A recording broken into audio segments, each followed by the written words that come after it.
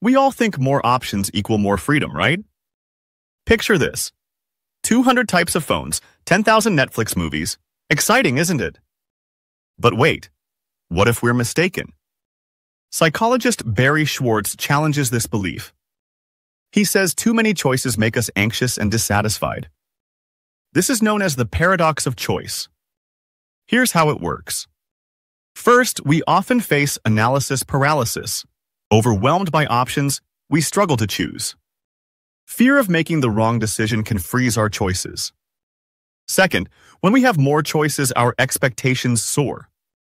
We believe our final decision must be perfect. Any flaw makes us feel disappointed because we think we could have chosen better. Lastly, unhappy with our decisions, we blame ourselves.